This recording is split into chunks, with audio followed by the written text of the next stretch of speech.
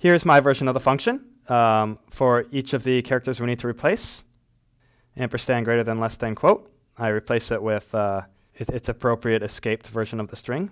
You know, I'm just overwriting the same the same string over and over again, which is maybe not the the finest way to do it, but uh, you know, it'll, it'll, it'll work in our case. And keep in mind that you need to replace the ampersand first. Other, you know, if you did it last, for example, and I enumerated it last to be a jerk, you, you, you would replace, you know, greater than with ampersand greater than, and then you'd replace the ampersand in your new escaped string with an, you know, an ampersand amp. So um, let's test this a few times, make sure it's working. Okay, obviously it prints the test string test. Let's give this one a test. Okay, and this is what we get. We see our less than is escaped to ampersand LT, and our greater than is escaped, and so is our next less than and our next greater than. Let's, let's test the other ones to make sure everything's working. I'm going to change, I'm going to get rid of these quotes and use single quotes instead, so we can test the escaping of those. And let's, what's the other one we didn't test? Aha, yes, we'll do our quiz from before.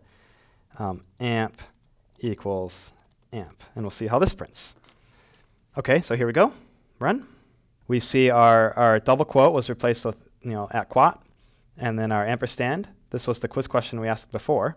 So we have ampersand amp, which turns into one ampersand here, equals ampersand amp, that ampersand, ampers or just amp for the letters amp, and then our closing quote. Okay, so um, let me show you one other simpler way of writing this function.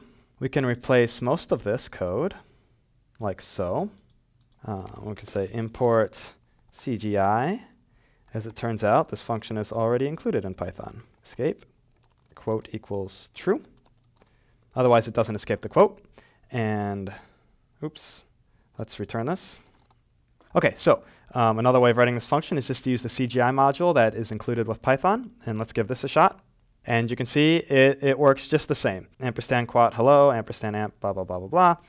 Um, we see our escape version of our string here. And this is obviously a lot simpler than writing it your own. You know, you may need more functionality in yours if you want to do that in the future, but for now, the, the built-in one will work just fine. Okay, good job.